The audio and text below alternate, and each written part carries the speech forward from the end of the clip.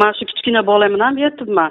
Xonamizdan ilon chiqdi ko'rgandirsiz rasmini ilon chiqdi desak to'rtta qaydandir insonlar kelishdi uyidan ham chiqardiku o'sha ilon. Bbc namangan viloyati chortoq tumanida karantin markaziga aylantirilgan aykron maishiy xizmat kasb hunar kolleji binosidagi abgor holatni bundan atigi bir necha kun avval yoritgan edi. O'shanda karantinga olingan insonlar bu yerdagi sharoitdan shikoyat qilgan sovun suv svet yo'qligini ta'kidlagan edi. Yettinchi iyul kuni esa mazkur karantin markazida bo'lgan fuqarolar yana bir bor bbc bilan bog'landilar. Ularning aytishiga ko'ra bbcning lavhasi ortidan markazdagi sharoit biroz yaxshilangan ammo sanitariya gigiyena bilan bog'liq ahvol hamon og'irligicha qolmoqda.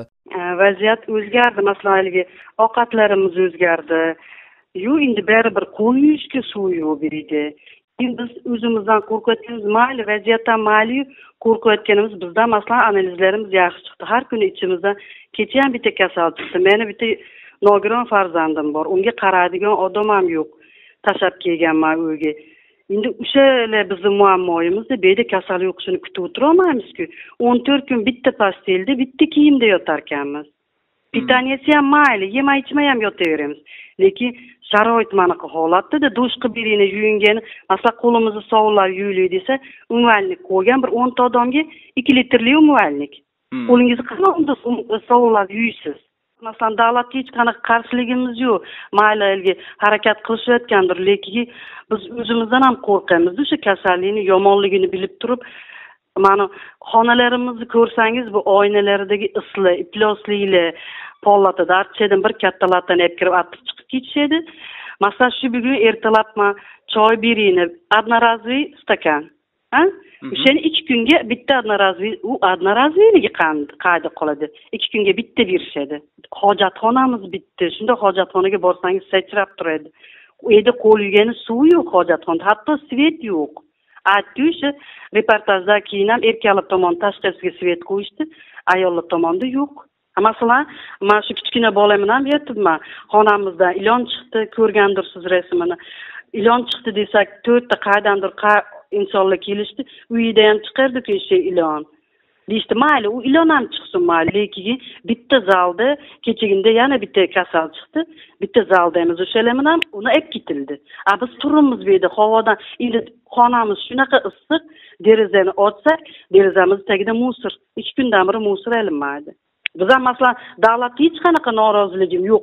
Davlat ajratayotgan mablag'ini prezident aytayotgan qarorini o'sha aytayotgan gaplarini bajarsin amalda agar bo'lsa fuqarolar karantinni o'z uylarida davom ettirishni istashmoqda. Biroq rasmiylar bu istakka nisbatan shunday javob berishgan. O'zimni uyimda karantinda o'tirsam mahallamni karantinga olarkan mahallamni man oziq ovqat bilan ta'minlarkanman kasallik chiqsa yigirma ikki million shtraf to'larkanman. И o'shalarni kasal bo'lsa davolarkanman yanimda.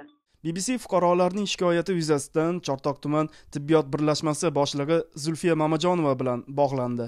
Ayni vaqtda o'zi ham karantinga olinganini aytgan mamajonova vaziyat murakkab ekanligini tan olib mutasaddilar qo'ldan kelguncha harakat qilayotganini ta'kidladi. Holat shunaqa edi.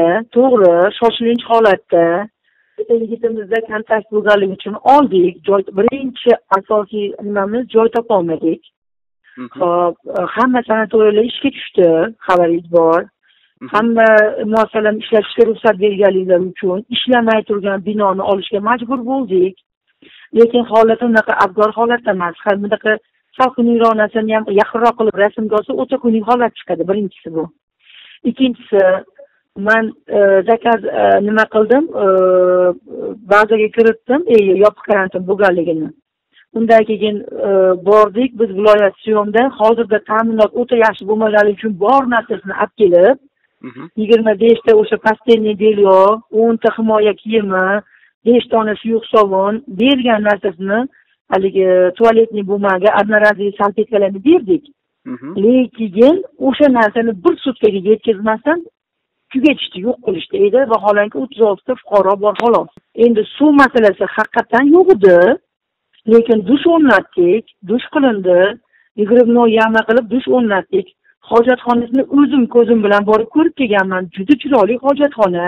Bundan tashqari tuman tibbiyot boshqarmasi rahbari nega fuqarolar uy sharoitidagi karantinga o'tkazilmayotganiga ham izoh berib o'tdi. Endi haqiqatdan ham qiyin sharoitdagi edi. Sveti muammo bo'ldi borishimiz bilan. Suvi muammo bo'ldi. Endi o'sha joyda yopiq karantinga turgan fuqarolar ichidan hozirgi paytda sakkiztasida plyus natija beryapti. Sakkiztasida bugun ikkinchi analizni oldim aka. Men qanaqa qilib ularni uy karantiniga qo'ya olaman? Bitta fuqaroni o'n to'rt kun yopiq karantinni o'tab tartib qoidani amal qilib uy karantiniga kelgan. Yigirma yettinchi kuni uy karantiniga kelgandan keyin patronaj hamshira umum amaliyot shifokori uchastka inspektori borib ogohlantiryapti. Uydan chiqma deb. Lekin quloqsizlik qilib chiqib ketib hamma dubaydan kelgan hamma yaqin qarindosh urug'lari bilan ko'rishib tug'ilgan kunga borib o'zi tartibni buzib hozirgi kunda o'n sakkizta fuqaroni kasallik bo'lishiga sababchi bo'ldi. Qanaqa qilib men bu fuqarolarni uy karantiniga qo'yib qo'ya olayman